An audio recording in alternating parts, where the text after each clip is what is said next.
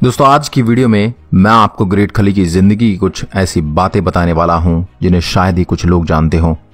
दुनिया भर में द ग्रेट खाली के नाम से मशहूर इंडियन रेसलर का असली नाम बहुत ही कम लोग जानते हैं। इनका असली नाम दलीप सिंह राणा है।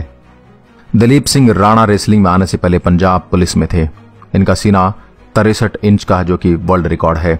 इनकी हाइट सात फीट एक इंच है और इनका वेट एक सौ सत्तावन किलोग्राम है। ज़ाहिर सी बात है कि जिसकी हाइट और वेट इतना ज़्यादा हो तो उसकी खाने की खुराक भी ज़्यादा ही होगी।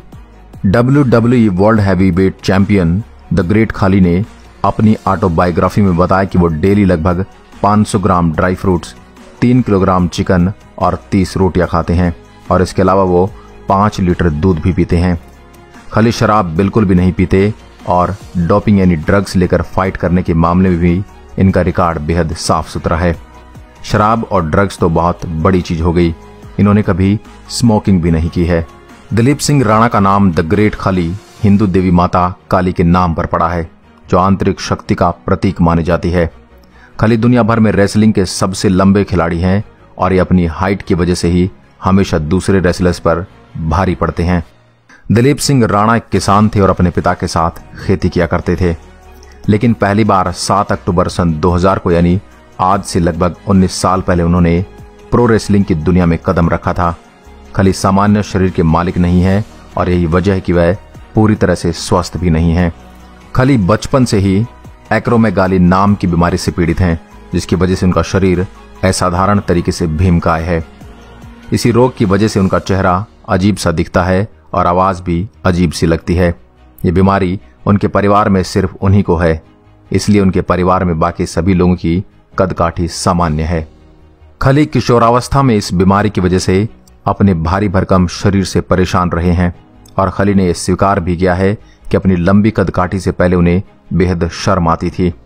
खली पंजाब पुलिस में रहते हुए बॉडी बिल्डिंग किया करते थे और इसी कारण से वे उन्नीस और उन्नीस के मिस्टर इंडिया रह चुके हैं।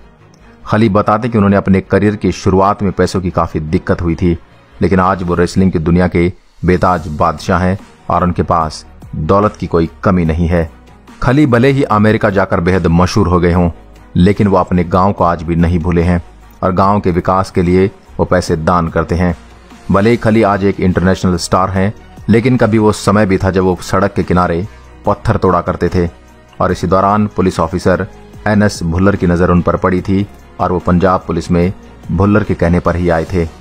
ग्रेट खली की मार में इतना दम है कि साल 2001 में ब्रेन ऑंग नाम के एक रेसलर के साथ मैच में जब खली ने उन्हें उठाकर पटका तो ब्रेन ऑंग की मौके पर ही मौत हो गई थी, जिस पर ओंग के परिवार वालों को उस प्रमोशनल इवेंट कंपनी ने एक दशमलव तीन मिलियन डॉलर का मुआवजा दिया था।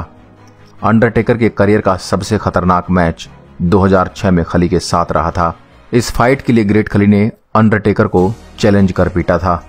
साल 2007-2008 में खली ने वर्ल्ड हैवीवेट चैंपियनशिप का खिताब जीता।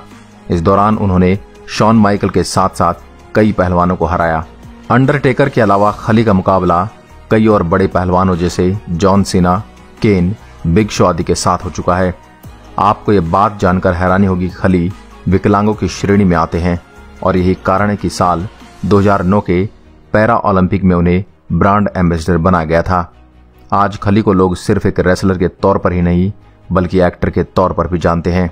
ये बॉलीवुड और हॉलीवुड फ़िल्मों में बतौर एक्टर काम कर चुके हैं।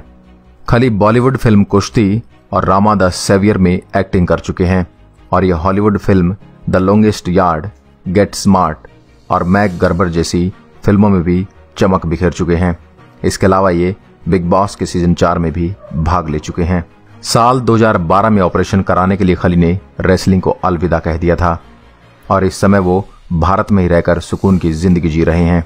लेकिन सूत्रों के हवाले से खबर मिली कि वो जल्द ही रिंग में वापसी करने वाले हैं। दोस्तों, अगर आपको हमारी ये वीडियो अच्छी लगी हो, अपने दोस्तों के साथ इस वीडियो को शेयर ज़रूर करें। धन्यवाद।